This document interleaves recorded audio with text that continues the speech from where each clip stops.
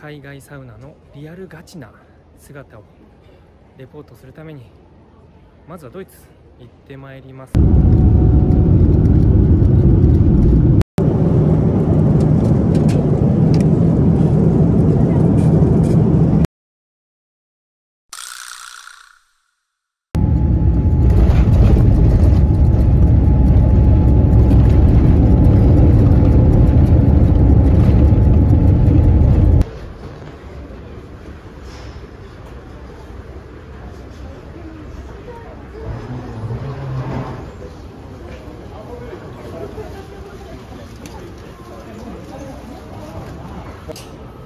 えー9時5分のアムステルダム行きのトランジット乗り換えなんでそれまでちょっと時間潰します。朝のシャルル・ド・ゴール空港も羽田空港巻き地と劣らずで混んでますねすごく、えー今からアムステルダム行きます。ちょっとねなんか登場時間遅れたんですけどもうまくアムステルダムからベルリンに乗り継げるのかちょっと不安です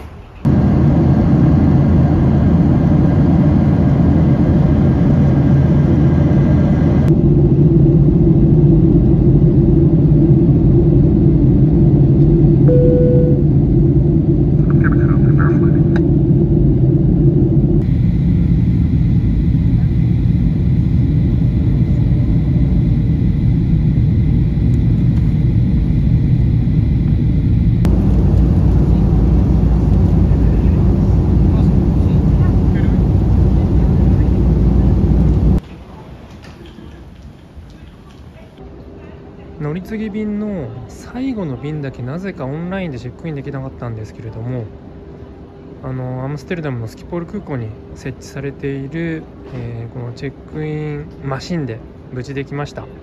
であの搭乗券も発行できました。こんな感じでねセルフサービストランスファーなんて言って分かりやすく設置してくれてます。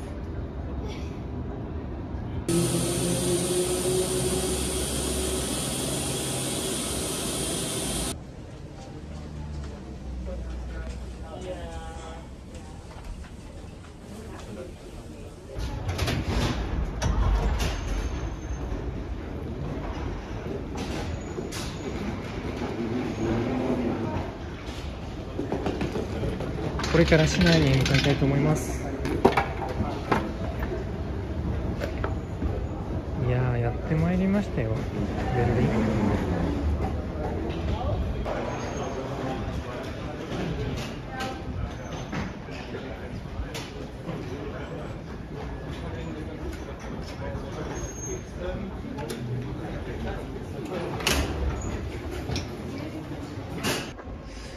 あれですかねほらあったこれでんチケットが買えるかもしれないですね。ね。このチケットをトラベルタワーズ・ザ・ベルリンシーセンター。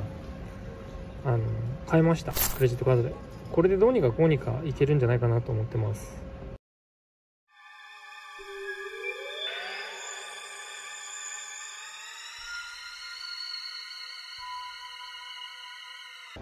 やっぱりあれですね。パリで経由するときに一回そこでその入国 EU 諸国への入国審査済んでるんでもうドイツに着いた時はそのまま出るだけですね。これからバスだか電車だか乗っていきたいと思います。いやーブランデンブルク空港外出たらすごいいい感じに開けていてここからバスターミナル探しに行きます。Google マップによるとあの辺りらしいんでバス乗り場がですね今からちょっと行きたいと思います。ちょっと合ってるか分かんないです。あのめちゃくちゃ綺麗ですね。バーンホフが駅なんで合ってると思うんですけど。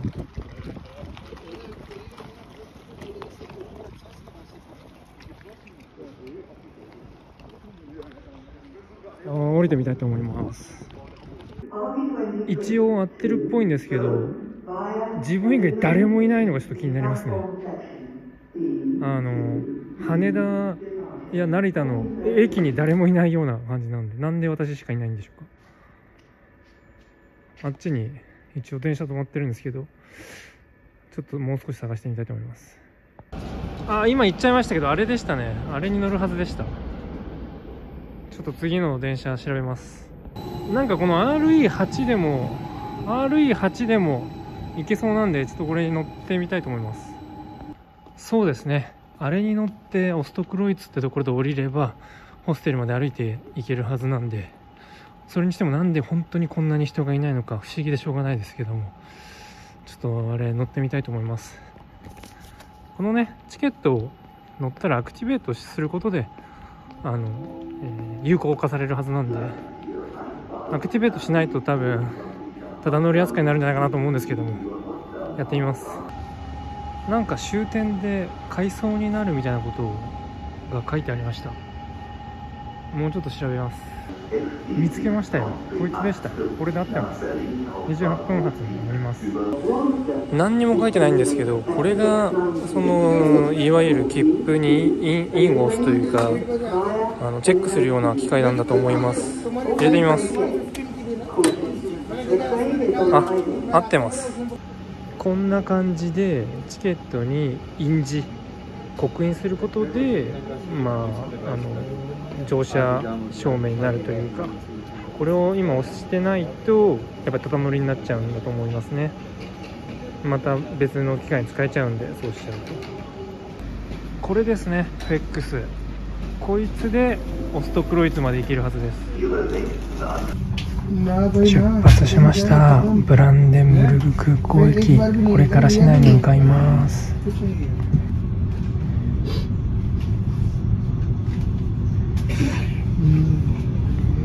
バスかなとも思いましたけど電車でした結局は。これがベルリンの街並みか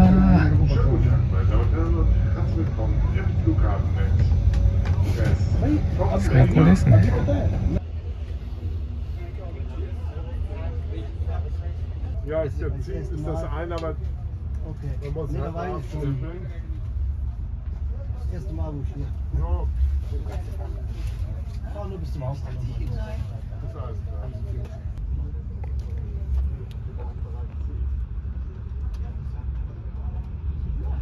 えっ、といきなり乗り過ごしちゃって。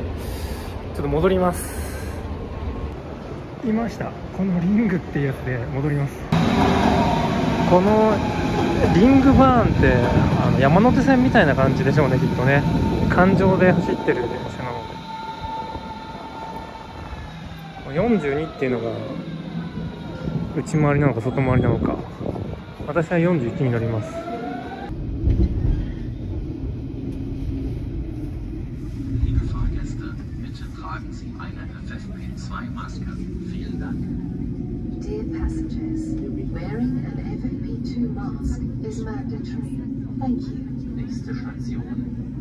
Kreuz. Übergang zu den S-Bahn-Linien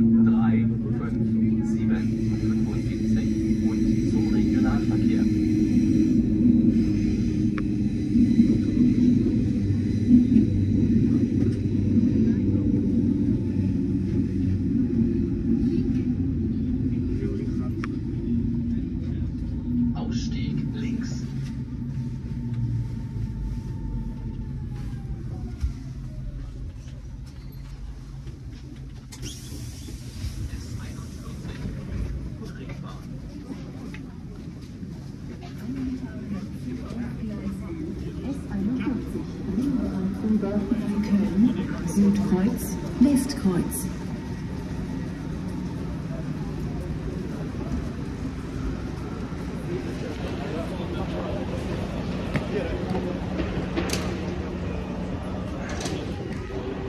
トクロイツなんとか着きました。これからホステルに向かいます。やっと出口に出られました。もう最初出口すら分かんなかった状態だったんでここから歩いて30分ぐらいですね。ホテルに。ホステルに向かいたいと思います。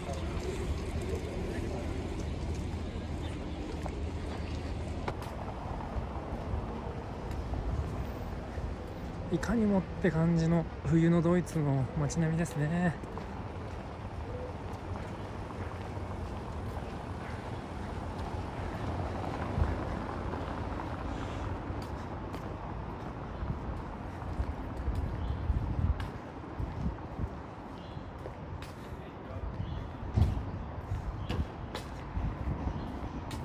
この中のお店のどこかに美味しいサ飯があるんじゃないかなとも期待しつつ。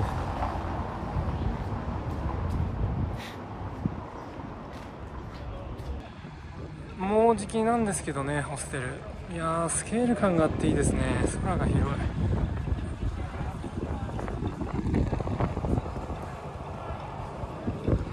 あとちょっと歩いていこうと思います。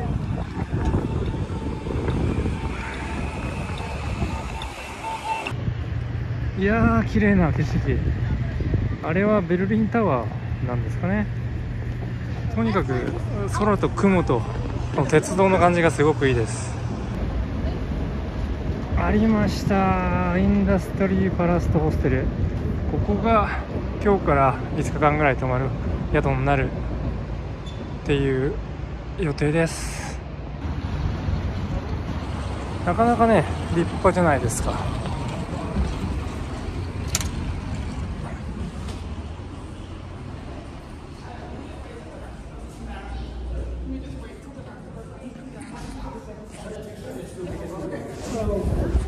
はい、like to check in, please. Okay, welcome to the hostel. Did you make a reservation? Oh, yes. Oh, Through booking.com or something like that. no. Can I see your ID card or passport? Yes, I will show you my passport. So here's my passport. Okay. Oh, so cold. Your passport. Um, because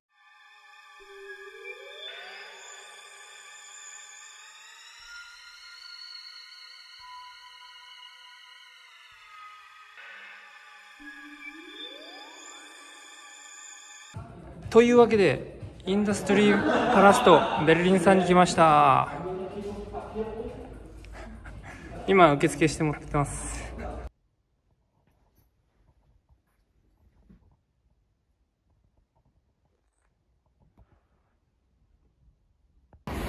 それではこれからえー、ホステルから一番近いキーツサウナさんっていうとこ行ってみたいと思います。もう入れるかどうかわかんないですね。でもまあ初日なんでとにかく、まあ、当たって砕けろで行ってきます。ホテルからは歩いて、まあ、20分ぐらいですかね。もう全く土地感地理感がないんでちょっと寂しい感じですけどここに果たして本当にサウナあるのかどうか。なんかもみの木みたいなのが切り倒されてますけど。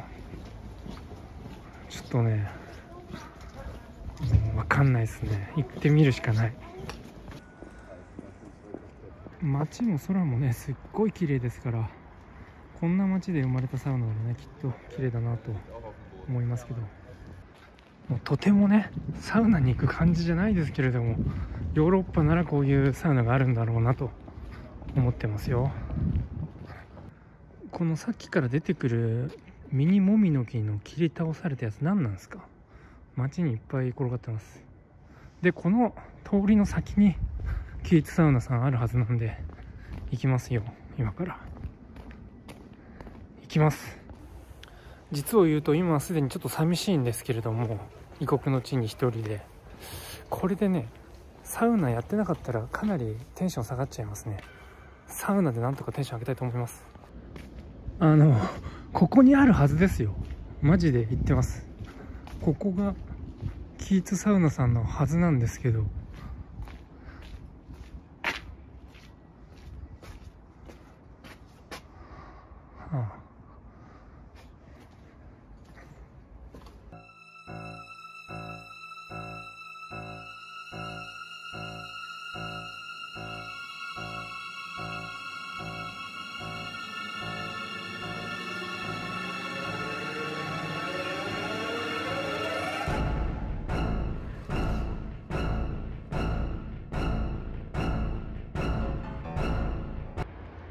ちょっとちょっと。これじゃないですか？キーツサウナ。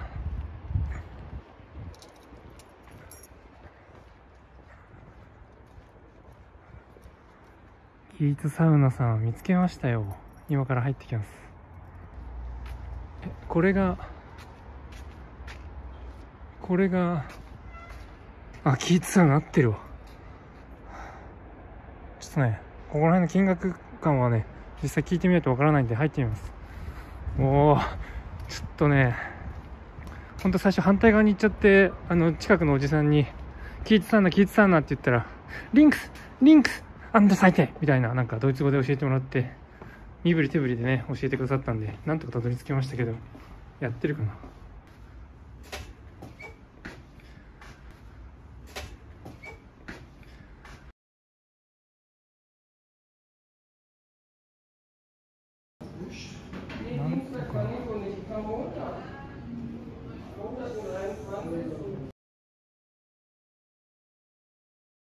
りがとうございます。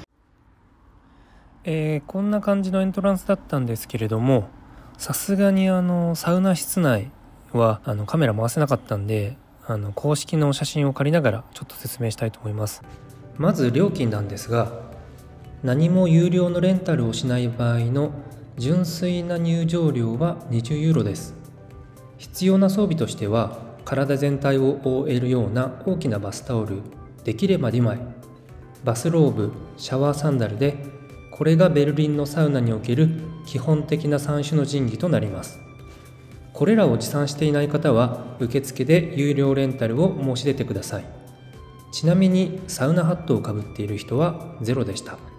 なお受付では入場料のほかデポジットの預け金として追加の10ユーロも必要となります。このデポジットを支払うことでサウナバンドとロッカーの鍵がもらえます。エントランス横のロッカールームからサウナ場内すべてが男女混浴です。ロッカーで全裸になったらバスローブをまとってシャワーサンダルを履きタオルを小脇に抱えてサウナ場内へ移動しましょう。不思議なことなんですが隣でドイツ人美女が全裸になっていても1ミリもいやらしい気持ちになりませんでした。とにかく粗相のないようにと緊張していたのだと思います。サウナ室が3室屋内休憩ラウンジ半屋外休憩ラウンジ外気浴のできるルーフトップテラスがありますが水着は NG でサウナ室内は全裸一択。休憩時はバスローブというスタイルです。私が行った時は30名ほどが場内にいらっしゃいました。一番大きなサウナ室が25人ぐらいのマックス容量で施設全体では50人から60人くらいがマックスだと思います。これがその一番大きなサウナ室ですね。90度のフィンランド式アウフグースの時間も設定されています。この時は受付で説明してくれたユリアンが熱波師になって登場してくれました。ご利用客の皆さん自分の体がほんの少しもサウナ室内の床や壁に触れないように自分の汗が一滴も室内に落ちないように自分の体とサウナ室の間に完璧にタオルを敷いていました。アラジンの魔法の絨毯みたいな感じといえば伝わるでしょうか？移動する時もタオルごとずりずり移動していました。そんなわけで大きなタオルが必要なんですね。あいにく私は東京都浴場組合のマスコットキャラクターゆっぽくんの横長のタオルと新吉原さんというブランドの手ぬぐいの2枚だったので精一杯体を小さくしてタオルからはみ出さないように座っていました。サウナ室に入るときに日本から本場ドイツのサウナを勉強させていただきに来ました。と小声で宣言していたので皆さん温かく見守ってくださっていましたが本来なら NG レベルのサイズのタオルだったと思います。それでもベルリンのサウナを楽しんでねなんて声をかけていただいたりおすすめのサウナを教えてくださったりとサウナーの皆様の温かいお心に触れた思いでした。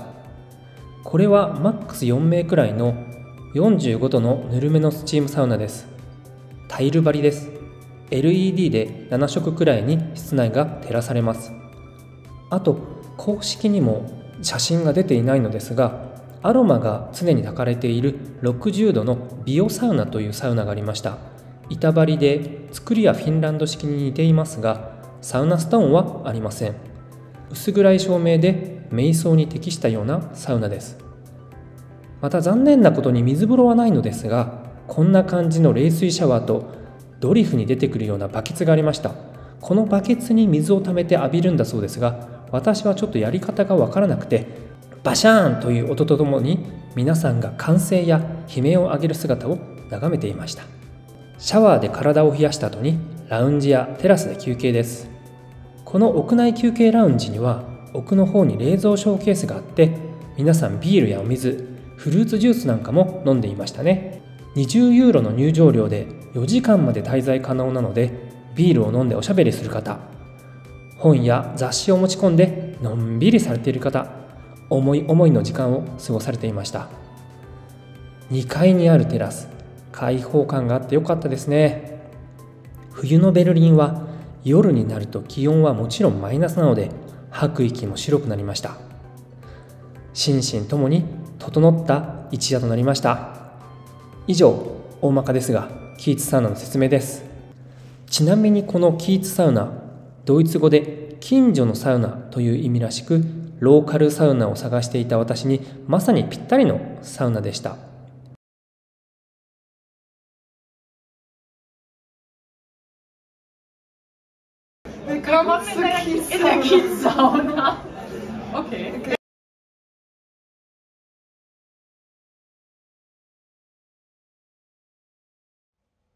今日のサ飯もう今日はね間違いのないところでケバブにさせていただきました。これでだって8.5ユーロ最高じゃないですか。このベルリンビールは2ユーロです